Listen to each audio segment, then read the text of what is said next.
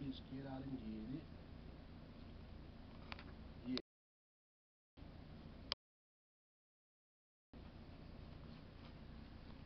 And smack you, bitch.